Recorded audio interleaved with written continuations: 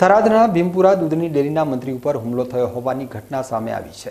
દૂધની ડેરીથી પોતાના ઘરે જઈ રહેલા મંત્રીની કારને ગામના ઈસમોએ રસ્તામાં ટ્રેક્ટરથી આંતરી કાર થોપાવી હતી અને ત્યારબાદ હુમલાખોરોએ કારના કાચ તોડી નાખી ફરાર થઈ ગયા હતા. આ ઘટનાના પગલે દૂધ ડેરીના મંત્રીએ ગામના ઈસમો સામે થરાદ પોલીસ મથકમાં ફરિયાદ નોંધાવી છે, જ્યારે થરાદ પોલીસ આ બાબતે વધુ તપાસ ચલાવી રહી છે. મારે ગઈ આગલી અદાવતને કારણે દેસાઈ દલાભાઈ વિહાભાઈ, મારામાંથી ગઈકાલે સાડી બાર વાગે હુમલો કર્યો છે. હું એમજીપીના ખેતરેથી આવતો તો તળાવની પાળે મારા માટે ગાડી લઈને અને ટ્રેક્ટર નહોતું અને નીચે ઉતરી અને મને કુવાડીનો કાચને મારી અને મારા કાચ ફૂટી અને મારા માથે પડ્યા હું નાચી ભાગી ગયો. અને ઘરે આવ્યો.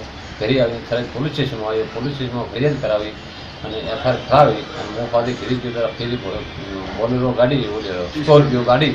લઈ અને મારામાંથી હુમલો કરવા આવ્યા. એમાં દલિત શંકરાભાઈ દલસીભાઈ હતા. એને વાગ્યું અને હું મારી મને પ્રથમ બધા થયા અને દોડી ગયા અને મારે ઘરે દોઢ પંદર વીસ બેઠા હતા અને એ આવી ગયા અને મને બચાવ્યું. અને મને મારી નો.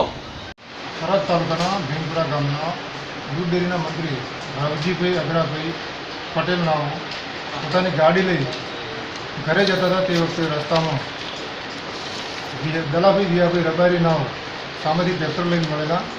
અને ગાડી ઊભી રખાઈ. નીચે ઉતરી કુહાડીની ઊંધી કુહાડીથી ગાડીના કાચ તોડ્યા અને કુહાડીના હાથાથી પૂછા મારી ગાળાગાળી કરી, વગેરે ફરિયાદ નોંધાવતા, જે ફરિયાદ નોંધી તેની તપાસ ચાલુ છે.